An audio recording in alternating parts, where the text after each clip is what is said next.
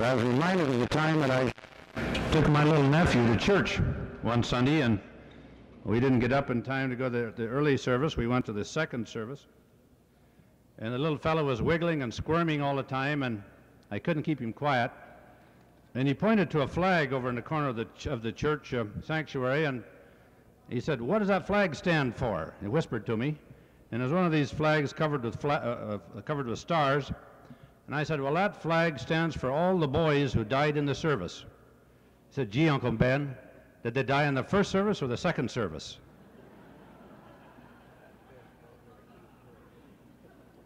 Well, I'm, I'm not going to fall away anything too prepared tonight. I want to visit with you for a while about where we are and where we're going and what some of the things we need to do. I don't believe there's ever been a time in history when farmers should be more alert, more concerned over what's happening to America, not just on the farms, but across the nation as well. Conglomerate control of agriculture appears to be as prevalent as ever. Even worse, now with the Department of Agriculture playing musical chairs with Ralston Purina, where we see Secretary Hardin moving from USDA into Ralston Purina, Earl Butz moving from Ralston Purina into USDA, bringing all of his own old cronies uh, from the Benson days. And what's happening? Well, the, it continues on. 90% of all the broilers today are marketed and raised by a few big feed dealers. We're told that the hog industry is moving in the same direction, and even the feeding of cattle. Some of you have been in Texas will notice that the cattle fed, that the feeding of cattle has been shifting out of the Midwest into the uh, southern states, and in many cases is being done by packers or feed company owners to get an integrated uh, kind of operation. Uh, last spring, I was in Washington, D.C., went in to appear before the House Judiciary Committee in behalf of the National Farmers Union uh, in support of the, uh, of the Family Farm Act of 1972. This is the bill that was introduced by Congressman Abourezk. And uh, what, it, what it would do simply would be to prohibit anybody from farming if they owned $3 million or more of non-farm assets. Now, $3 million seems like a lot of money, but we have a lot of these kind of operators in the farming business. Well, anyhow, Secretary Butz sent his top uh, lobbyist over there to defeat that bill, and uh, they got the job done. They defeated it, but uh, Jim says that we'll be back another year with that bill. Anyhow, during the cross-examining that day, I was asked if there were any uh, conglomerates in agriculture in South Dakota. And I cited a few, and you could cite some more. I, I noted that the Cannon Towel Company last year went into Sully County and bought several thousand acres of the best wheat land in that county, Cannon Towel Company. We've got an outfit up here in Spink County that calls itself the Hudson Land Company, which is really the Hudson Oil Company out of Kansas City, as old as the old days of the Hudson fur traders. Now, this outfit owns several thousand acres of irrigated land up in Spink County, and they're in the petroleum business mainly. I mentioned the Western Cattle Company out here and mostly in Haakon County that owns over 100,000 acres of farm and ranch land. And they also have a big grain enterprise in Chicago. But then I told them about a, a smaller conglomerate that we have right here in South Dakota, and there may be more than one. I'll describe this one because I think it may be typical. And I described it to the committee, and as a result, some of you may have uh, seen my statement quoted in the Farm Journal last spring. But this is the, the uh, conglomerate that I described. It owns a big feed mill. As a matter of fact, it's part of, of one of the big feed chains in the Northwest.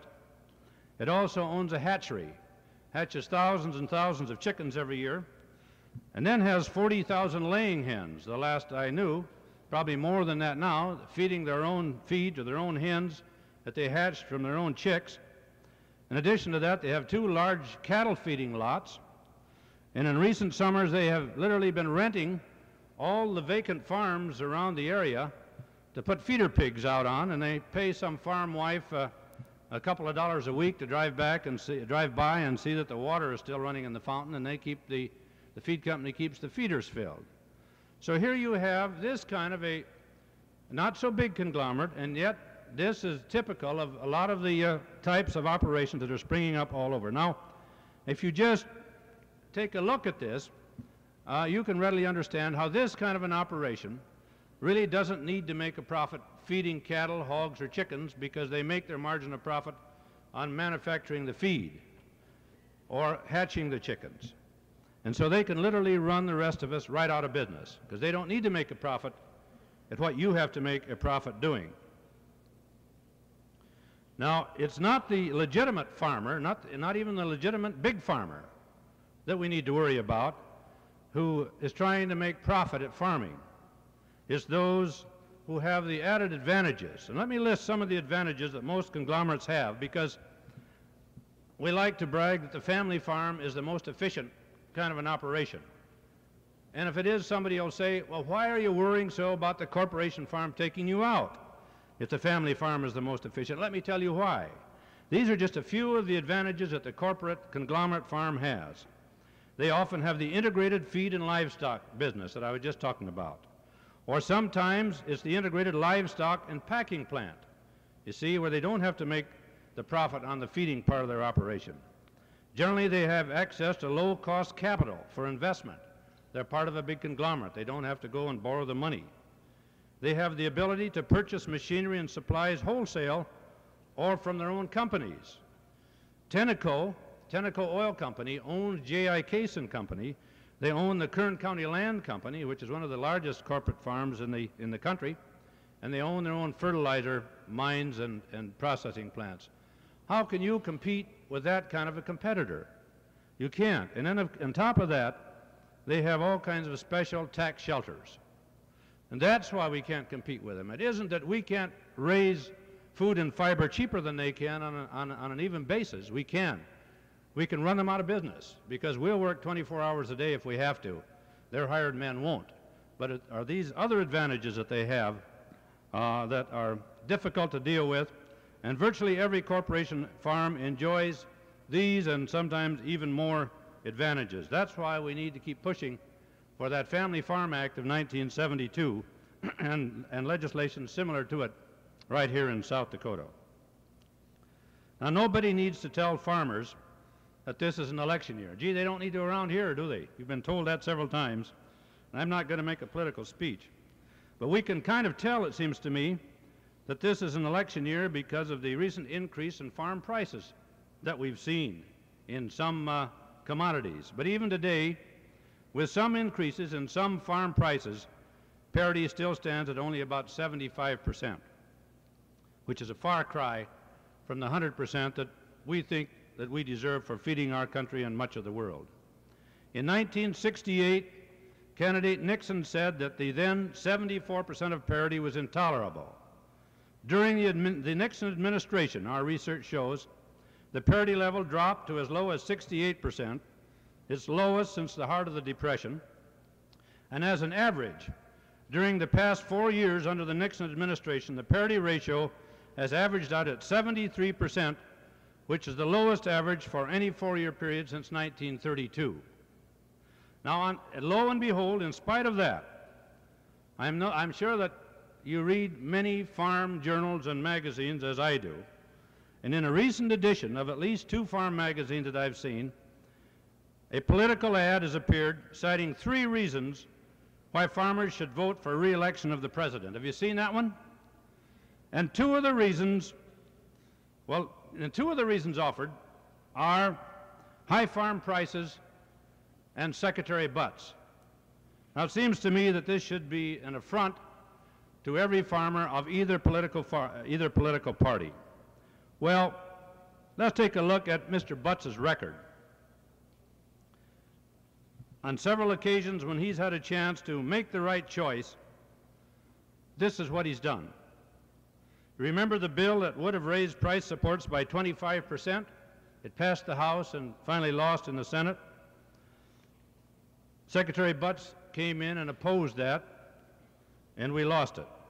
The Family Farm Act of 1972 was opposed by the Secretary of Agriculture. The bargaining bill that would have done something for farmers was opposed by the Secretary of Agriculture. Secretary Butz supported opening the imports of cattle to bring them into the country. Secretary Butz favored restricting beef hide exports to hold down hide prices, and the Congress overruled him on that. He opposed international wheat agreements, which paved the way for the Russian wheat deal that we've heard so much about. And he lowered, Butz lowered milk prices last spring when he had authority to maintain them at a fair level. He supported abolishing the Department of Agriculture and parceling it out to the cabinet other cabinet posts. Finally, and most flagrant of all, Butz has defended the Russian grain deal that bilked American farmers out of hundreds of millions of dollars.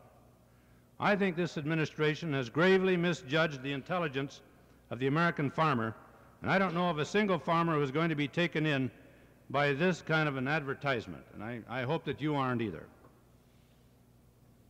What about the Russian wheat deal? I don't want to spend too much time on that because it's already been discussed, and Ed Smith may want to comment on it. But just let me review some of the sequences with you. First, Clarence Palmby goes to Russia with his boss Earl Butz to promote a grain sale. But before Palmby goes, he makes a down payment on a $100,000 apartment in New York City which happens to be the headquarters of Continental Grain Company. Remember, the USDA is in Washington, D.C., 150 miles away. Palmby uses the names of several Continental Grain Company executives as references in making the apartment purchase. Well, when they get to Russia, they find the Russians are indeed short of wheat and are suffering the worst drought in a 100 years.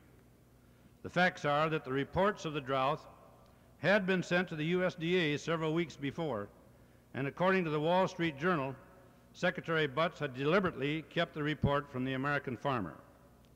Well, some kind of a deal was made, and nobody knows for sure what, and Palmby came back home and promptly went to work for the Continental Grain Company, which made a $4 million sale of wheat to Russia. And it was only later, through a congressional investigation, that we're beginning to learn some of the facts about what really happened. And some of the things, as you know, are that the federal government, through the Department of Agriculture, agreed to provide an export subsidy with no ceiling, a guarantee, an open invitation uh, for the grain trading companies to go out and buy as much wheat as they could, compete with each other, uh, and uh, they'd be covered with the export sub subsidy uh, so that they could maintain that low level of sale price to Russia. The export sub subsidy in about 30 days jumped from 5 cents a bushel to 47 cents a bushel. And we're now just beginning to learn how much the southern wheat farmers lost.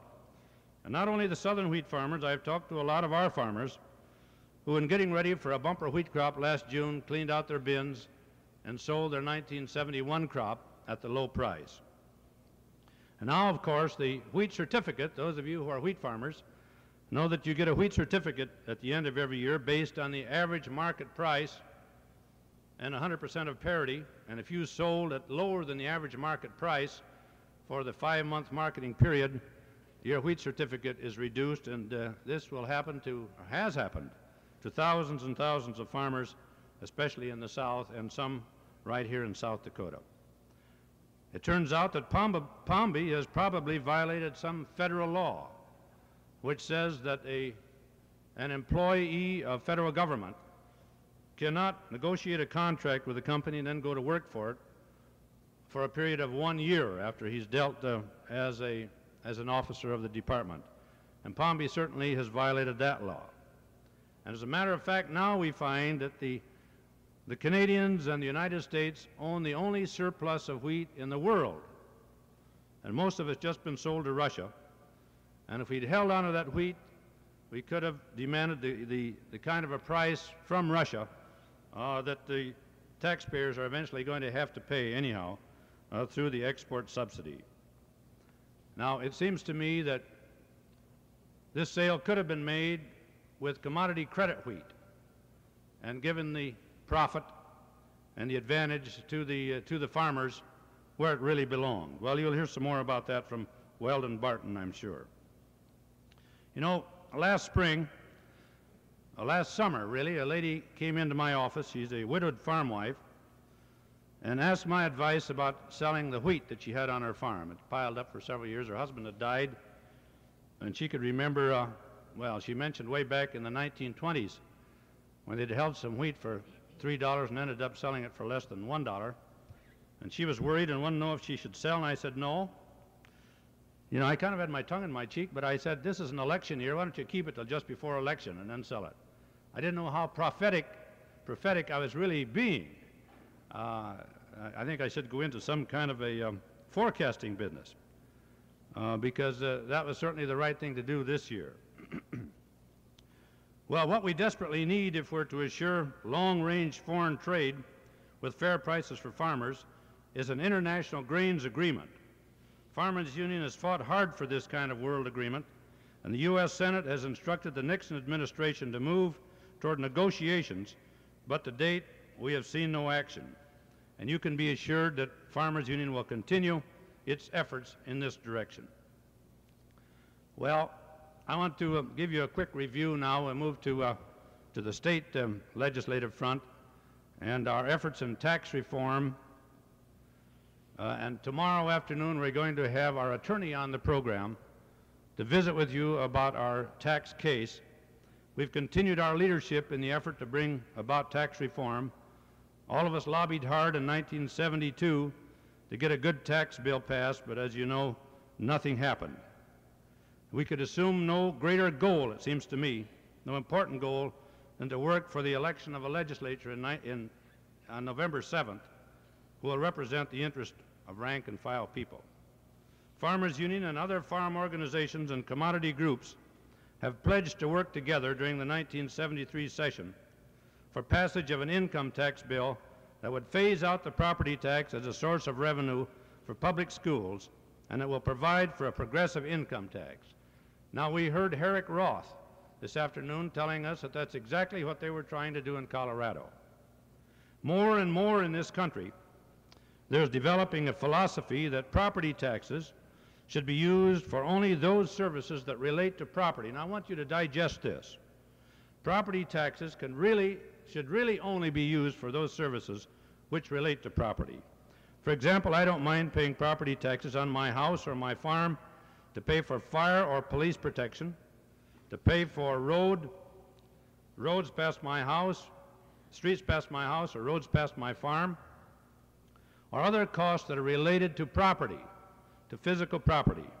But people programs such as education and welfare should be paid out of people's incomes according to ability to pay, and this means an income tax. And this theory is embodied in our policy program, and this will be the main thrust of our legislative efforts in Pierre. Now, on a new front, Farmers Union has entered as an intervener in the Bell telephone rate increase case, now before the State Public Utility Commission in Pierre. And Bell has asked, as you have seen in the papers, for a 9.5%, 9.5% return on their investment. In 1968, the Public Utility Commission authorized Bell uh, to make 7% return on their investment. And that sounds like a pretty good guaranteed return. Now they're back asking for 9.5%, uh, which has been called a 2.5% increase, but in fact, the arithmetic of it is it's a 35% increase if you relate seven to nine and a half, and this is what they're asking for. Now, I'm sure that any farmer would be happy to have a guaranteed return of even 7% on his investment after all of his labor charges and all of his other expenses have been taken out. You know, Bell Telephone is, of course, a monopoly, as most public utilities are. Nobody's going to run a line out in parallel to Bell Telephone's line uh, to compete with them the way other businessmen have to compete.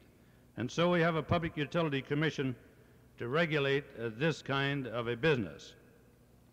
Now, if Bell Telephone receives the kind of uh, rate increase that they're requesting, and we've done as much arithmetic on this as we can. We've talked to the PUC and done our own computing. We have arrived at a figure as something like this. With an increase by Bell Telephone to 9.5% return on their investment, we could expect an increase in telephone rates statewide, an annual increase of $5,800,000, or spread out over the 165 primary phone users in South Dakota, this would amount to about a $36 a year increase in your telephone bill. This is what they're asking for, and this is an authentic figure. I say that uh, that's just a little bit out of line. And Farmers Union has hired an attorney, and uh, we're challenging that case. And we now have been joined by East River Electric and uh, some other groups, including the Consumers League and SLIC, uh, the uh, low-income group that has put this paper, these papers out on our, on our chairs today, is also joining in in the protest. Some of you may remember, I think it was back in 1948 when Paul Upsall was president. At that time, we challenged a Bell telephone rate increase. And as I read the old papers, uh, they say that uh, we saved the telephone users uh, back in those years something like $2 million. And now we're talking about saving them as much as, uh, as $7 million. Well, I don't want to uh, take up all the time tonight because uh, we've got our guest with us. I just want to close then with a challenge. And our challenge is this all of us must work harder than ever before if we are to save the family farm system and to bring a new era of vitality to rural America. This is an election year. You've been told that. The opportunity lies before us to elect a legislator that is responsive to the people. And I want to make my main thrust in that era, in the legislative election. Believe me, this is even more important than most of, than most of us realize. State government is so terribly important. Let's go all out to elect, elect the right kind of a legislature this year. South Dakota will be electing two congressmen, a governor, and a U.S. senator. But South Dakota people will have an opportunity this year that we will probably never again experience. That is to elect to the presidency a native son who knows our people, knows our problems, knows our hopes and aspirations. This is our year of decision. Let us choose wisely. Thank you. North Dakota people are really not too much different than South Dakota people. One of the main differences is that they've got 40,000 members in the Farmers Union. We don't have quite that many yet. And they've done a tremendous job with their dues checkoff. And I don't know what Ed's going to talk to you about tonight, and he may not have time to talk about how, how, their, how their cooperatives up there check off 99% of their dues. I mean, they don't have to have membership drives. They can spend their resources and their field men's time courting their co-ops and keeping their dues check off coming in and their educational funds. Ed, sometime I'm going to invite you down here for a half an hour or more. Tell us just how you get that job done. But I, I think that's terribly important uh, that we review that part of your operation up there. Ed Smith, as you know, is the new vice president of the National Farmers Union and has been president of the North Dakota Farmers Union about as long as I've been your president here. He followed Glenn Talbott. Before that, Ed Smith was a cooperative manager. He managed one of the biggest co-ops in North Dakota. At one time, I think he ran a, a co-op uh, trucking uh, service. And then he worked for the North Dakota Farmers Union for several years until Glenn Talbott retired and Ed Smith became the state president up there. I want you all to give Ed a standing, rousing cheer of acceptance as he comes to the podium.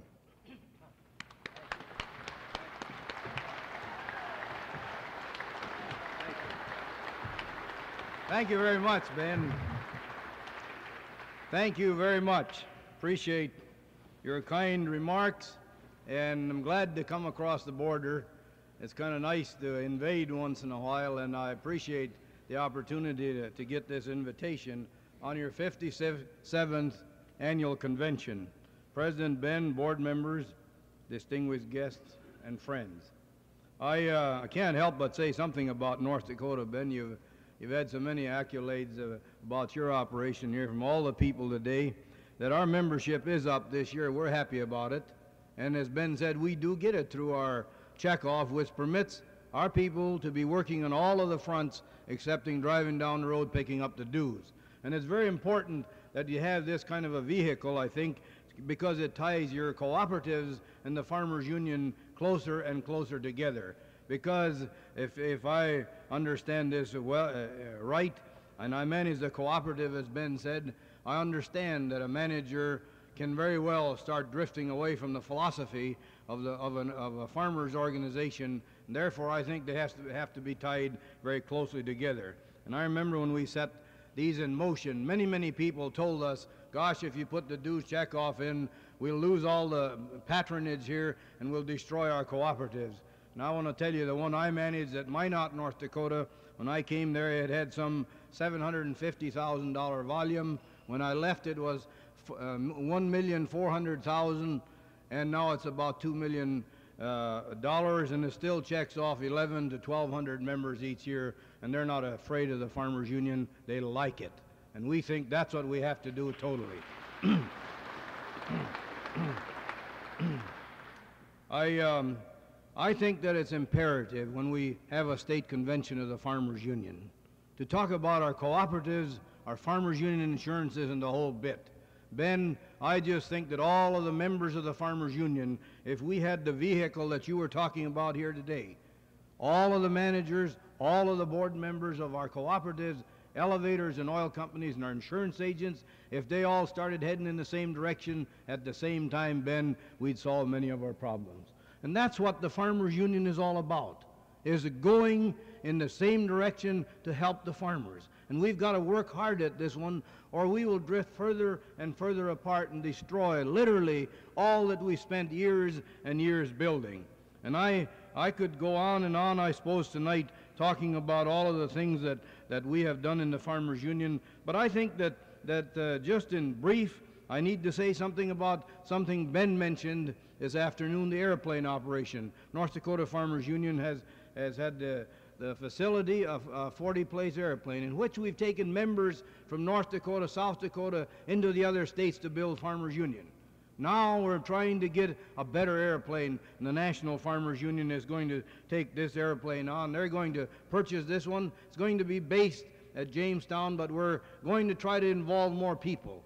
Getting people to talk to one another across state lines will solve many of the problems that we have at our national convention.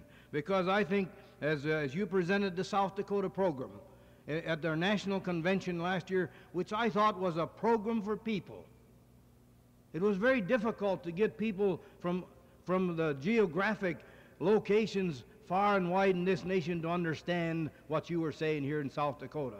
But what a tremendous thing it would have been had we had that airplane working constantly, Ben, you could have taken your South Dakota people to Illinois, to Indiana, yes, to Texas and Oklahoma, and the whole bit, and sold them the program. And sold them the kind of a program that you people are talking about. That a program that believes in people, not in just total dollars and cents. And I think that's what we have to do. We have to move into the 20th century. And had we done this, it would have been easier because, as Ben said, we talked about it. But we spent two, three, four days of the national board and the full board of directors, and we still didn't have all the, uh, the wrinkles ironed out because they don't fully understand what these programs really are about. And I, I think it's a, an important thing to look at now. How are we going to get the next kind of a farm program put together? It is my philosophy that unless this nation decides what kind of a policy it's going to have, it's going to be difficult to write a program because you don't know where you're going. I think we, this nation has to set up a federal program policy that says that we want to maintain family type agriculture and that we need more people out here in South Dakota, North Dakota, and the Plain States, not less of them with big, uh, big giant empires of agriculture. We need more people out here. And until the nation gets that notion, it's going to be difficult to write a farm program that'll fit into it. So I say again, I think we're going to have set the policy first, maybe before we can get a final program that'll stop this out migration. And I, I'm confident that, it, that we cannot let the, the grain traders sell our grain abroad. No nation, no nation allows this to happen except ours. All of them have their own wheat boards or some branch of the government that sells the grain. And if there is any advantage, it comes back to the government. And as we've had it in the past, we had inverse subsidies that came back to, to the agricultural department, and then it was supposed to pay it back to the farmers. Had we had commodity credit, selling the grain this time, it would not have gone billions, hundreds and hundreds of billions of dollars to the private grain traders, and it would have been a benefit to our nation. So I say again, we may have to change all of these. But to, tonight, I'd just like to wander around a little bit because, you know, I've been kind of shot down. We've had all the good speakers. You had Jim Patton, and, and you've had some of the great speakers this afternoon that told you about some of the things that are so essential to keep America alive. And I'd like to just skim through this to take you on a ride to show you how, how I think America is faring. Which way America? And I had the opportunity here in August to go to Japan as, a, as an emissary for National Farmers Union. The three or four farm organizations, three farm organizations, and the National Council of Cooperatives went to Japan to see the best the best customer of agricultural products in this nation. Japan buys about a, a, a $2 billion worth of agricultural products. 100 million people on some small islands out there in the Pacific. Tremendously industrious. Have the capacity to use much of our food, but their diet is much different than ours. And I was so impressed by their industrious, uh, the industriousness of these people how they were willing to, to do things, how they were able to create things with, with, with, their, with their hands, and how they had developed their industry and their technology. But how quaint they were in their living how satisfied they were in houses with no furniture in them all because they don't sit on chairs, they sit on the floor on mats, straw mats. They don't hardly have any furniture. They eat with chopsticks yet, and the new generation, I might say, is not looking at chopsticks very well. They're looking at forks and knives like we have. They say, we're so industrious and everywhere else, why can't we use something that'll go better than chopsticks? And I was amazed at our, at our interpreters who said that they're young people. They're looking for hamburgers and Coke and, and the rock bands. That I, was, I was amazed when I turned on the, the TV over there. It's much more brilliant in color than ours. I don't know why, but it's tremendous. And I saw the rock bands playing American songs in Japanese very difficult to understand. I saw cowboy movies with the cowboy from this country talking Japanese as he was driving, uh, you know, coming up to a person. What, a, what a, a, tremendous thing to see. Every restaurant and cafe we went into, we heard Americans, rock bands playing Western music. And they're going Western as fast as they can go. And they're going to be one of the greatest purchasers of agricultural products that you've ever seen. Well, anyhow, the Farmers Union is an organization that's working on th this level. Tony Dechant, I'm pinch hitting for him tonight, and I'm sorry he could not be here to, to, to make this presentation. But Tony is in Ottawa at the IFAP conference, of which all 40 nations that belong to the IFAP, International Federation of Agricultural Producers, are sitting in Ottawa tonight talking about how do we set up a, a, an agricultural exchange an, an international grains arrangement that says this is the price that's going to go from our country to yours and not have the grain, grain traders making the great profits. I was supposed to be there, but because of necessity, I had to stay here back and keep the home fires going. And the Farmers Union re represents you on many, many fronts. And this, this is what the organization was started for because you cannot, alone cannot do some of these things. You cannot be in Washington. You cannot be in Ottawa. You cannot be in Rome or wherever it happens to be, because this is where the great markets of the next few years are going to be. And this, as I said, this organization fights on all fronts. We tried the coalition of agriculture, where we had all the farm organization join hands trying to get a farm bill through our Congress, and they said, "You get all the farm organizations together, and we'll solve all the we'll solve your farm pro problem immediately." We got all of them but one. American Farm Bureau Federation wouldn't go along. And I've said to the National Board on many occasions, if we got all the farm organizations together, we'd only have 5% of the population. So we've got to take organizations like we had at Western States Water and Power in, uh, Billings, Montana, uh, two weeks ago. We're going to have to take these organizations, those who are concerned about strip mining, those that are concerned about petroleum and electricity and all the distribution of our resources of this, this nation. That's what I think the next coalition has to be put together from. And if we do that, then we'll solve many of the problems that I see facing us. So I say, which way America? Are we ready to make the fight? Are we ready as Farmers Union people to make that great fight starting out tonight, tomorrow, and the day afterwards? Because I think that the Farmers Union was set up so that their presidents of their specific organizations, state and national, should speak out, as Ben said, and tell it as it is. Tell it as it is.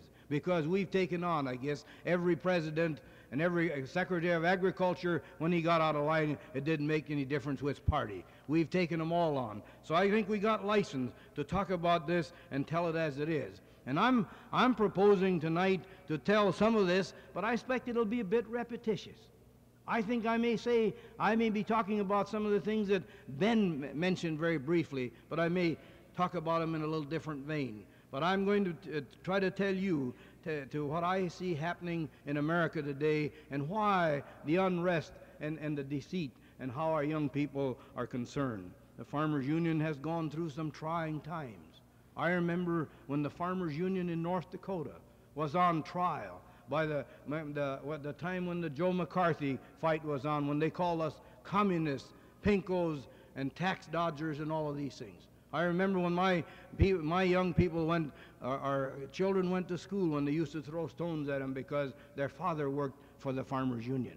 But we stood the test of time. We didn't allow them to scare us out of the situation, as they're doing with you tonight tomorrow and every day before this election, they're going to challenge you and say, You dare not speak, because if you do, we can't solve the Vietnam War. If you talk against the Russian wheat sale in the manner in which it is handled, we may never, never sell wheat to Russia again. What a lot of hogwash. Hogwash. They've done this over and over. And I, I, I can recall many, many Farmers Union people that have said, gosh, we can't get involved in this. This is controversial. I remember many managers, when I was the manager of the Farmers Union Oil Company, said, gosh, if the Farmers Union gets in this, we're going to lose lots of business. And I said, my gosh, if it's worth if it's right, it's worth fighting for. That dollar volume isn't that important. And I found when you stood right and when you were honest that that never did affect the volume. It's when you cheat and have deceit that you begin to lose the, the credibility and the people start leaving you. So I say, I think we're moving into another era just like this again. I think we're moving into an era when I think the challenge will come again. Will our people dare speak up when we get to the crises? When we have to make up our minds, are we going to speak up or are we going to slink away into the corner and not really take a position? I feel that we have to make the stand on the issues that are before us. And I've seen this nation come through the, the 30s, the depression of the 30s, and I saw a nation that came out of these 30s that was very compassionate. It was a compassionate people that had worked together to try to get themselves out of, the, out of that dilemma. And then, of course, the great wars came, and affluency came along. We helped the great nations of Europe after the devastation and we helped them out through the Marshall Plan. So it proved that America had compassion.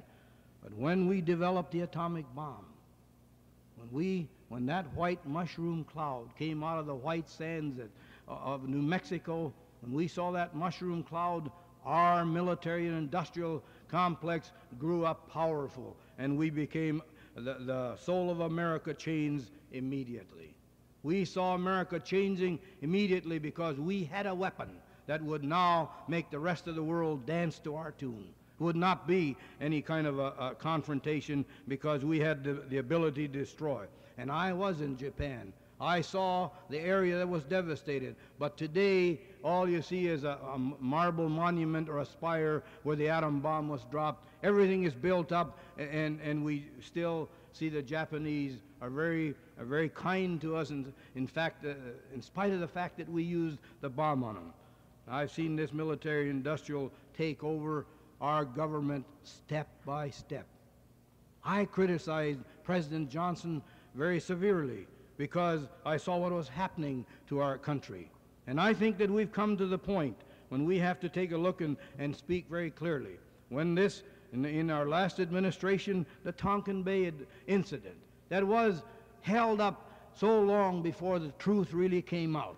Now, this administration, I've seen so many things happen that it almost scares me to death. I've watched the confidence of this nation gradually go down.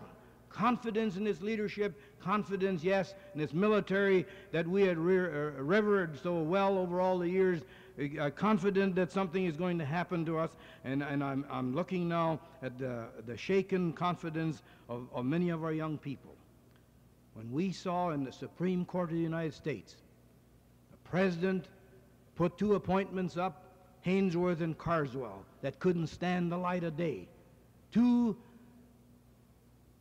Supreme Court judges that had the kind of records that he felt should sit on the highest tribunal in America couldn't stand the light of day. And when our young college kids saw this, they said, My gosh, what has happened to America when you can't even trust the President of the United States and the kind of people he's trying to put into the Supreme Court? destroyed the confidence of our young people. And I, I think that's a tragedy. And when we put them on the altar of profit, sent them to Vietnam, put them on the altar of profit so that they, they would bring us great returns on our invested dollars and care nothing about uh, how they were going to fare. And I say that war is costing, uh, has cost us something like 50,000 lives. $400 billion of cold cash has been laid out. And they say before this thing is completely settled out, it may cost this nation $1 trillion. No one can comprehend what a, what a trillion dollars is. But a, even a billion dollars, and I've used this at many meetings, do you actually know what a billion dollars is? If I were to give one of you a thousand dollars a day to spend, just foolishly throw it away, do you know how long it'd take to spend a billion dollars? Almost 2,800 years. Almost 2,800 years to spend a billion dollars. Nobody can comprehend what you could have done to your school system, to, your, to all of the hospitals, and all of the necessities of life if we'd have had that $400 billion. And I, I want to just uh, compare another figure because many people don't understand what a tragedy this is. $400 billion. It could have bought all of South and North Vietnam. We could have paid every man, woman, and child in, Nor in North and South Vietnam $10,000 apiece. $10,000 apiece. And you know what the income of those people is? Around 70 or $80 a year per, per earning person. We could have bought them for $10,000 apiece, and they could have had the kind of government they might have liked. What a tragedy that we've blown the, the two country, countries almost off the map. In the last four years, 49% of all the bombs in that war up to this point have been dropped in the last four years. 49%. And you say to our people, gosh, don't say anything about this because this is, this is treasonous. And I just say to you people here, it would be tragic if somebody didn't say something about it. And I, and I see one case after the other in this administration. The, IT, the IT&T case, when all the records were finally shredded and let out to, so that nobody could read them. I ask you, would, eh, eh, if you had lost any of your records on your income tax, do you suspect that if you'd have said, well, I shredded them, you'd have got away with it? Of course you wouldn't. You've got to prove your point and they shredded all the records that IT&T had, and they, they, they expended uh, all these funds and, and then just slid right by. When you have control of, of, the, of the, the judicial and also the law enforcement, then you become very powerful, and this is what's happened. We have the Penn Central. We have the Lockheed. All of the big corporations have been bailed out. And Fred Simonton talked about the rural electrics. Let me just say very quickly here that the rural electrics, when we set up these rural electrics, we made a contract with the government of the United States that if we would give area coverage, they would guarantee us 2% money. 2% money, that meant that a man lived 12 miles away or 10 miles away, you had to put the line to him in order to get 2% money. And I just wonder if anybody in this room thinks for one minute that Con Edison in New York, yeah, Northern States Power, Ottertail, or any of the rest of them had that kind of a contract, if they'd have said, well, we, we'll pay you more money, I'll bet they'd have held that contract forever. And when they take this 2% money and say you can't build generation and transmission, then they're getting at the jugular vein of the local cooperative. If you destroy the G&Ts of the rural electric cooperatives, you'll, you'll cut the jugular vein and they'll bleed them to death.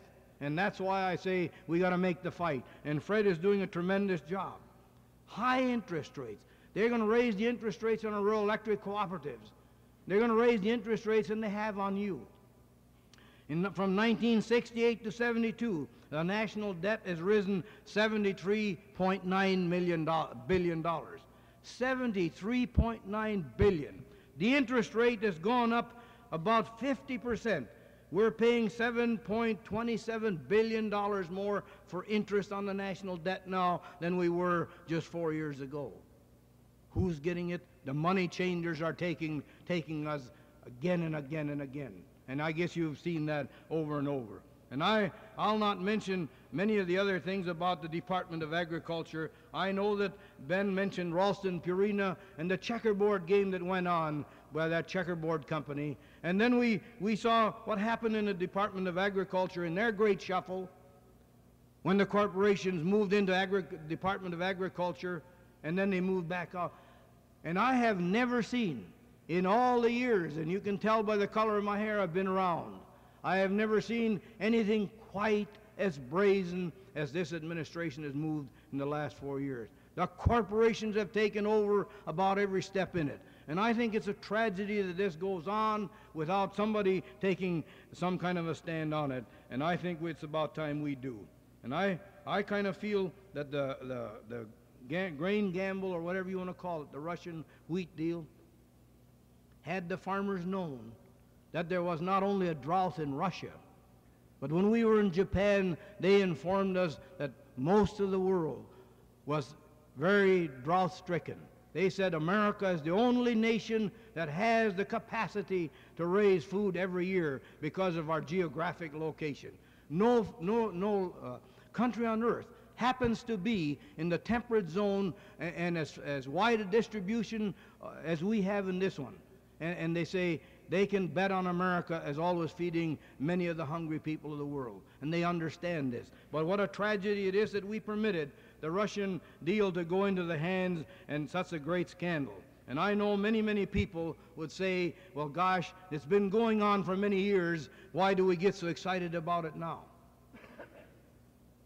well, as I look at all of the things that have developed, when I see what's taken, uh, what has taken place in the Pentagon, the tremendous pressures that have been put on in the Pentagon onto our, our, our, government, in the Department of Agriculture, and right up to the White House. I'm wondering when we are going to see anything quite as, as shadowy as that one. Many people compare it to the Teapot Dome under, under Harding's administration. Never has anything been as brazen as, as the, this since the Teapot Dome. Perhaps many of you don't remember what Teapot Dome was all about. That was when, when the Secretary of Interior gave away all of the oil that was supposed to be set up to, for our naval reserves. And Teapot Dome is, is the area in Wyoming that looks like a teapot, and, and a part in, in, in California. When uh, Senator Albert Fall uh, of New Mexico became the Secretary of Interior, he got a slush fund of $400,000. $400,000 to sell out. And just think what they're selling out for today. $400,000 doesn't even come close to it. They're asking for millions, and they're getting this job done very effectively. So I say we've got many things to take a look at. I know Nixon has been to, to China and Russia, and I'm all for going to China and Russia. The Farmers Union program said so 25 years ago that we ought to have relations, eh, diplomatic relations and trading with China.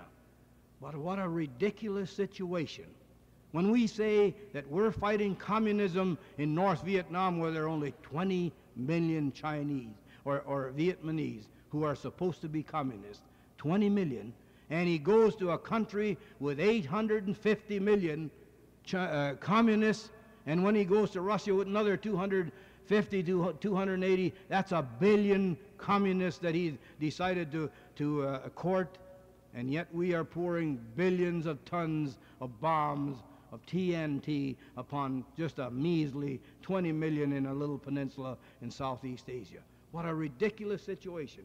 If we're against communism, as he had professed over all these years, what a tragedy this happens to be. So I say it's, it's treasonous to talk today against the involvement uh, of the war. It's treasonous to talk about the Russian wheat sale. But tonight I've just kind of skimmed over it. And if, I, if all of America knew all of the things that were going on, I'm sure we'd be in a revolution tomorrow morning if they knew all of the shady deals that have been pulled in this country. So I say to you people, some might, not, might say to us here, you shouldn't get involved in politics. Politics is every day. Politics is every day. You've got to be concerned about your state government, as Ben said, about your county government, all of it, our national and so forth. So I say it's time for us to speak up. You heard many people, Harry Cross say, let's not them, let them take over our government. Let's not let them take over our land. Because if you do not uh, uh, get concerned about this particular area, you will have nothing left to say. So I say, even with our cooperatives, our insurances, all of these things, let's not us let somebody else run them. You people ought to be concerned about them, how they're related to you, and what they're doing for you. So I say, farmers can no longer sit idly by and decide they can get a good farm program without getting involved in the political arena. Far, excuse me, Farmers Union has said this for many years. So if you don't take any position tonight, I think it's very difficult then for you to come back and complain about the results. Complain about what happens if you don't take a position. Don't let anyone silence you in that one. I know that you've, you've, you've had to take a stand in many times in, in South Dakota, and I think you must decide on the records that I see, especially on the two presidential candidates as I see them. You're going to have to make a decision whether you want corporate America to run our government or whether you want the kind of government that you people want with family farmers and all the things that go with it. And I know many times it would be easier to sit down and not get involved in your cooperative, in your election, and all of the things that went on uh, that go on day by day. Just like it was in Germany under Hitler.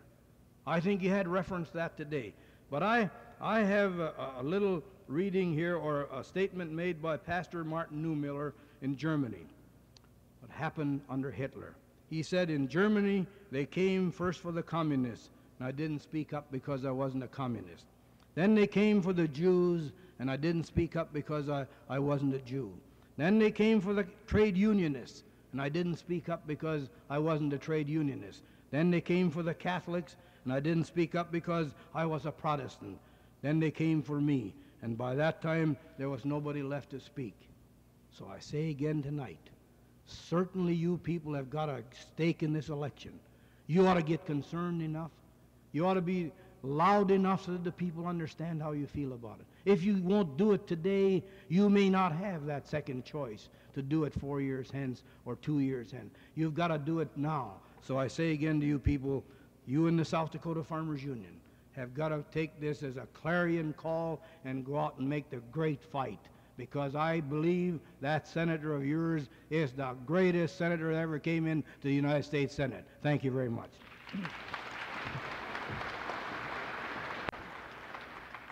Thank you very much, Ed, for coming down across the border and talking to us in that manner. That's been great.